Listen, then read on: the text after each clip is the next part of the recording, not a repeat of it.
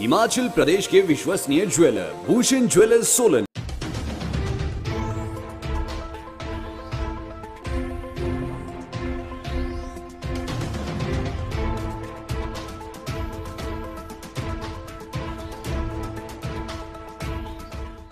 Corona virus के चलते लगे प्रदेश व्यापी कर्फ्यू में आज सभी जिला प्रशासन की ओर से ढील दी गई। इस दौरान ज़रूरी सामान की खरीदारी के लिए लोग बाज़ार पहुँचे। प्रदेश की राजधानी शिमला में आज सुबह 8 से 11 बजे तक कर्फ्यू में ढील दी गई और लोग बाज़ार पहुँचे।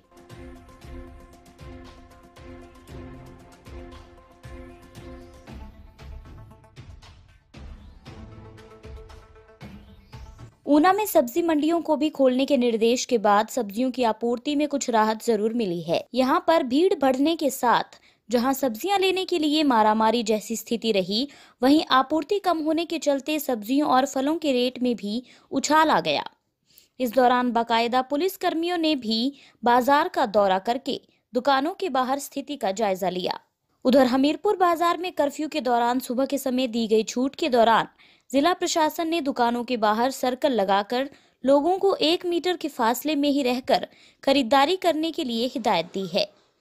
इस दौरान बाकायदा पुलिसकर्मियों ने बाज़ार का दौरा करके दुकानों के बाहर स्थिति का जायजा लिया और सख्ती से नियमों का पालन करने के लिए लोगों से अपील की है। देखिए, मैं आपके माध्यम से जनता से यही अपील करना चाहूँगा कि ये जो कर्फ्यू की स्थिति है, ये लॉकडाउन के बाद की स्थिति है। और ये तभी आई जब जनता अपनी जो दायित्व है, उसको नहीं समझ पा रही है। हमें यह समझना पड़ेगा कि ये सोशल डिस्टेंसिंग से ही हम इस महामारी से लड़ सकते हैं। मैं जनता से यही अपील करूँगा कि वो कृपया अननेसेसरीली घर से बाहर ना आए। घर से से केवल एक व्यक्ति आवश्यकता की स्थिति में ही आए। जो हमारी आवश्यकता की चीज़ें हैं, वो घर से केवल एक व्यक्ति जो सबसे स्वस्थ हो, वही निकले। यदि कोई बुज़ुर्ग ऐसा हो इलाके में मैं अपने थाना क्षेत्र के लिए आपको बता दूँ कि यदि कोई बुज़ुर्ग ऐसा है जो अपने घर से बाहर नहीं आ सकता है और उनकी देखभाल करने वाला कोई नहीं है तो वो थाना हमीरपुर में के लैंडलाइन नंबर पर संपर्क कर सकता है, मेरे व्यक्तिगत नंबर पर संपर्क कर सकता है, फेसबुक पे मेरा नंबर अवेलेबल है। हम उसकी आपूर्ति जो है उसके घर में जाके करेंगे।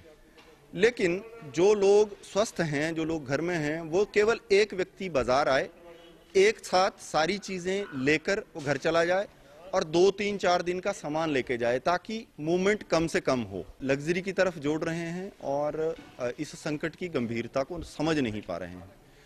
अगर ये स्थिति ऐसी ही रहती है तो और कड़े कदम उठाए जाएँगे। और किसी भी स्थिति में हम जनता की सुरक्षा सुनिश्चित करेंगे, चाहे हमें कोई भी कड़ा से कड़ा कदम उठाना पड़े।